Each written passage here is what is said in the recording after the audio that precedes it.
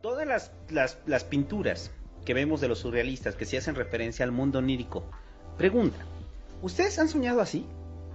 ¿Como esas, ese tipo de imágenes? Sí. Yo no. Pues que concretamente como, como a cuál te refieres. No, o sea, por ejemplo, los elefantes de Dalí, Ajá. Con las patas enormes. Ah, pero Dalí era su propia cosa. Ajá. O, por ejemplo, las pinturas de, de Remedios Bar, ¿no? Ajá. ¿Ustedes no han soñado así? Una vez salí- soñé que peleaba con Wolverine. No, pero No, porque- es que es que yo tengo Sí, como este rollo de que de que de que soñar como cosas fantásticas, es que ahí se separa. O sea, una cosa, y ahí retorno, es que ya retorno es a la Bachelard. conjunción de la parte inconsciente Regreso. con la parte consciente. Regreso a Gastón Bachelard porque, eh, o sea, la parte onírica, com- completamente onírica, yo se la adjudico más bien a, a los dibujos automáticos de André Breton. Pero la parte como de ensoñación poética, regresando a Bachelard, ahí sí es Dalí. O sea, es un Dalí consciente que dice esto no es real, pero es posible en la pintura. A, a René Magritte. Es que también dentro del surrealismo, como lo comentábamos fuera, hay como varias corrientes de, de Te surrealismo. voy, a decir, te voy a decir para mí por lo menos un cuadro que se podría aproximar a algo que yo soñaría. Ajá. O sea, el Cristo de San Juan de la Cruz, de Ajá. Dalí. O sea, si es algo que dices, ok, esto sí lo podría soñar en esa perspectiva Uy, y en ese modelo. Ese, ese cuadro tiene una tradición histórica bien cabrona y es que Dalí vio un chingo de pinturas, un chingo de retratos de Cristo. A Cristo se le ha, y esto es el saludos a Melissa que me ha enseñado tanto de pintura. A, a Cristo siempre se le ha representado de, de una forma. A Cristo se le ha representado de frente y crucificado Sí. o en alguna escena. Entonces, ¿cómo haces un, un retrato de Cristo novedoso? En el año 1940 o 1950, que es el Cristo de San Juan de la Cruz, de, de, de Dalí, haces un escorzo. Un escorzo es una pintura como de una perspectiva como extraña, no, no convencional. Entonces, para que ese Cristo sea novedoso, lo voy a pintar visto desde arriba y hacia los pies. Y es un Cristo que nadie ha visto antes. Y Dalí ya lo había visto antes. Ya hay una pintura de la cual parte Dalí y se la copia y lo pone nada más flotando encima de, de Port Ligard. Pero lo que ves es que es una escena que como hace un poco más clic de lo que podrías ver en un sueño. Ajá. O sea, dices... Y te engañó, te engañó Dalí te porque, engaña y dices, porque, eso sí lo podría porque soñar. al final es un, es un paisaje de Port Ligard abajo y arriba es un Cristo volando en escorzo que él vio en una pintura Pero- renacentista española. Mi Pero no fue inconsciente, fue completamente... Fue No, una por eso, o sea, a lo que voy es que la mayoría de los de, de, de estas pinturas son cosas inconscientes mezcladas con cosas conscientes Ajá. que las proyectan a través de un lienzo. Punto. Sí. O sea, el rollo es que si usted hace una- ahorita un, un insight con respecto a cómo se ven sus sueños, no va a llegar exactamente a una conclusión de cómo se ven sus sueños porque no tiene forma de interpretar, o sea, sabe las acciones, sabe las cosas que más o menos vio, pero no puede darle una forma concreta al sueño. O sea, por ejemplo, al inicio que, que- que narrabas todo tu texto, ¿no? O sea, de- del asunto de lo que soñaste y demás. Puede ser que soñaste eso, pero lo soñaste y probablemente con quien estabas no tenía cara. Y probablemente mm, el, la, no sé, el castillo. Otra breve castillo- paréntesis, otra, otra breve, otra prueba de que el sueño viene de la experiencia consciente es que nunca vas a soñar una cara que no has visto. Ah, claro, no puedes inventar caras. No, sueñas con Pero- caras que igual pero, y pero no le ha pasado el rollo de que de repente dice, soñé contigo, pero no eras tú. Ajá. O sea, eh, el asunto es, soñé contigo, pero no eras tú. Uy. Pero tú eras Bradley Cooper, pero yo sabía que eras tú. ¿No? O sea, así de simple, ¿no? Pero, pero no dices, eh, soñé que eras un güey X. No, o sea, sa- ¿sabes quién es? Ahorita que hablemos de los sueños lúcidos, tengo una experiencia bien interesante. Pero antes me va- gustaría... va- va- déjame terminar ese Sí. punto nada más. El, el rollo, a lo que voy es que ningú- no hay ninguna representación fiel del- de cómo sueña usted en el mundo consciente. No la hay. Eh, lo más acercado, los dibujos automáticos y Sí, pero, no la hay. cosas. O sea, no hay algo que usted vea y diga, ay, güey, es idéntico a mi sueño. No. Lo más probable acerca de los recuerdos de los sueños es que no recuerdas el sueño per se, sino que recuerdas haberlo recordado.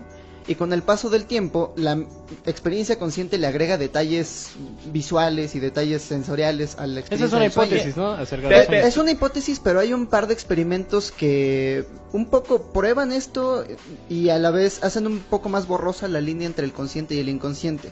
El primero es la caja predictiva. Es una caja conectada a tu cerebro que mide tus, tus eh, ondas cerebrales y tiene dos, dos botones, dos botones con una luz. Y tu trabajo, tu reto, es picar un botón antes de que se prenda la luz. Nadie puede. Nadie puede porque el, la caja registra un movimiento en la experiencia cons- inconsciente antes de que tomes la decisión de picar el botón. Esto significa de que, an- que antes de que tú tomes la decisión, alguien ya tomó la decisión. Y el ego, por llamarle de algún lado, la experiencia consciente, solamente el yo, está justificando la decisión que tomó el inconsciente. El otro experimento son los las transgresiones inocuas de las que hablamos en el podcast pasado, que son historias de transgresiones morales, pero que no le hacen daño a nadie. Una de ellas era una mujer que es vegana, eh, se quema una morgue y ella decide, pues, ¿para qué, para qué desperdiciar la carne? Me como un cachito. cabrón. Entonces el trabajo del psicólogo en este experimento era debatir a la persona. La persona le decía, no, pues está mal, pero ¿por qué está mal? Pues porque esa persona pudo haber, pudo haber, pudo haber sido el hijo de alguien. Y entonces le das argumentos, le das argumentos hasta que la persona, todos, todos sin duda decían, es que no sé por qué, pero se siente mal. Ajá. Se siente mal, es el inconsciente el que está decidiendo la moral de la persona y el trabajo de la experiencia No, consciente pues sí, es justificar moral muy larga ahí, güey. De- es justificar al consciente. Entonces, la imagen de la mente que plantea este autor es eh, un hombre sobre un elefante. La experiencia inconsciente es un elefante que camina solo. Y este hombre solamente va a- haciendo la bitácora de lo que pasó y piensa que él decide el rumbo, pero es la mente inconsciente la que decide el rumbo. Mm. eh, eh, eh, Entonces toda ver, experiencia to- todo este es punto, o sea, o lo que planteaba es, no hay una representación fiel de los sueños. O sea, los sueños siempre van a estar mezclados con la actividad consciente. Y cualquier alguien que quiera proyectar lo más parecido a un sueño no se parece en lo mínimo a lo que usted construyó como sueño. O sea, porque esa es como la magia de los sueños. O sea, la magia de los sueños es que ahorita que hablemos de sueños lúcidos, Yo creo que bueno, ya de una vez hablamos de sueños lúcidos. O sea, O el asunto de hablar de sueños lúcidos es, es pareciera que usted se está viendo en este momento como si fuera la realidad, pero no, o sea, es una transformación absoluta de la realidad, que, su re- que la realidad que usted está soñando no es una realidad porque no la está viendo con los ojos, está soñando con el cerebro. Entonces, lo está viendo con el cerebro. Y el cerebro ve de una forma distinta. De, o sea, la mente en general ve de una forma distinta de lo que ven los ojos. O sea, de que ahorita yo estoy ahorita con ustedes, estoy recibiendo una información y los estoy viendo y digo, esto es la realidad. Sí, o sea, la narrativa óntica es distinta a la narrativa ontológica. es completamente, o sea, o sea, y, y- y por eso no hay forma, no hay forma fiel de representar un sueño. O sea, no hay forma. La o sea, el, acercami- puedes- el acercamiento de ahí era, ya so- es como la búsqueda de la conciencia de los sueños. Eh, hay una cosa bien interesante que, que como muy pocas personas han visualizado o, o sacado así o puesto el grito en el aire o el dedo en la llaga, y es que la, la filosofía hindú, el brahmanismo y el, y el yoga, en concreto el yoga como filosofía, Sí, no como Ya. clase en la condesa. no, o sea, el yoga se puede separar de dos maneras, el yoga como clase en la condesa, el yoga occidentalizado, o el yoga como corriente filosófica. Y como técnica de meditación Y, ajá, a través del cuerpo. porque que es que el yoga es una filosofía con una praxis. No hay ninguna no hay ninguna corriente filosófica occidental que, que conlleve una praxis per se. ¿A, a qué me refiero con esto? A que para hacer filosofía occidentalmente lo único que tienes que hacer es poner el culo en la silla Y ponerte a pensar y escribir lo que piensas. Y el método filosófico o el método descriptivo de la filosofía occidental es hacer comentarios acerca de ideas y escribirlas, que nos lo enseñó Platón, eh, Sócrates en concreto, con sus diálogos de Platón. Eh, el yoga, a- al contrario, es una corriente casi contemporánea a, a la filosofía socrática, si no es que anterior, y ya estaba haciendo estudios conscientes, filosóficos, acerca de- del subconsciente o acerca de lo que posteriormente Freud llamó como el subconsciente o el inconsciente. Ahorita nos dilucidas como la diferencia entre inconsciente y subconsciente. No hay diferencia, es lo mismo, es un error de traducción. Gracias. Entonces, el, lo- los filósofos... Yo- aparte, en la universidad tenía una amiga que decía, y entonces el inconsciente se logra diferenciar del subconsciente y así, ah, vale. Entonces es lo mismo. Gracias. Si alguien le dice que el inconsciente y el subconsciente son cosas distintas, no, es lo mismo, es un error de traducción. Ajá, por eso eh, entre los yogis no hay distinción entre subconsciente o inconsciente, simplemente como una fase de la conciencia distinta que no puedes controlar. El yoga se trata concretamente de hacernos conscientes del flujo de pensamientos que estamos teniendo todo el tiempo. O sea, todo el tiempo la cabeza está siendo bombardeada por un chingo de ideas, por un hilo de ideas eh, automáticas que están sucediendo en nuestra cabeza, ¿no? A menos que estés moneado y ya no pienses.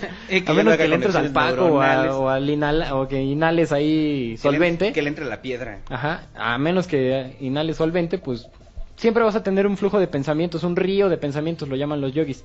Entonces, estos güeyes, a partir de una serie de ejercicios muy básicos, como primero hazte consciente de tu respiración y después ya te podrás hacer consciente como del río de pensamientos, piensan que también te puedes hacer consciente de las cosas que estás soñando. Entonces, tienes control como de las cosas que estás viendo y haces conciencia de por qué las estás pensando. Incluso puedes llegar a detenerlas o puedes llegar a encauzarlas hacia pensar a fenómenos concretos y meditar respecto a cosas concretas del ser humano. El- la fase óptima del yogi era cuando, o la iluminación, era cuando podían llevar este flujo de pensamientos hacia un dilema o hacia un problema concreto que no entendían y poderlo entender, o sea, entender, por ejemplo, de dónde vienen los tigres, entender de dónde vengo yo, entender por qué crecen las plantas, en un mundo sin ciencia, en un mundo sin método científico, en un mundo de mil años antes de Cristo, entender el porqué de todas las cosas y relacionarlas todas entre sí. O sea, ya es como... Y solamente a través de la conciencia. Y solamente a través de la vinculación de, de una cosa con otra. Y esto conllevaba a la capacidad de analizar nuestros propios sueños. Entonces, mientras te vas quedando dormido, estos güeyes plantean una serie de ejercicios eh, para, para poderte hacer consciente de esa serie de imágenes que tienes. Y una vez que te haces consciente, incluso poderlas dominar. Entonces, ¿cómo tener un sueño lúcido? Pasamos al, al ¿cómo dice Hobbit? El movimiento Para de eso, los sueños o sea, lúcidos. concretamente para el, el- movimiento internacional de el- los del sueño lucidista. los- de los Los sueños sueños lucidistas, pero, o sea, este pedo Hay de los, soñadores en este todo pedo el de los mundo. yogis está muy bien descrito porque, sueños, los o sea, los yogis sí es un, es un sistema filosófico construido bien concreto y lo describe muy bien Mircea Eliade en su libro El Yoga. Eh, está publicado en toda Latinoamérica al menos y en España en español. Eh, y ahí anda el, yoga de Mircea Eliade y es un, un libro no o sea si ustedes compran el yoga de Mircea Eliade no van a ven- no va a venir la postura del saludo al sol ni esas mamadas lo que va a venir es el sistema filosófico descrito de cómo pensaban los hindús una historia del yoga y una historia de las vertientes del yoga es un libro denso a madres es un libro casi impenetrable de tan difícil que es porque está abordando un tema tan complicado como la misma conciencia, un tema que abordó Freud en el, en, el 1900 en el año 1900, pero abordado en el año 1000 antes de Cristo. Entonces es así denso, impenetrable, chingón. Yo sí lo recomiendo mucho. Y esto, pues ya el movimiento yogi y el, y la- el acto de la conciencia lleva a los sueños lúcidos.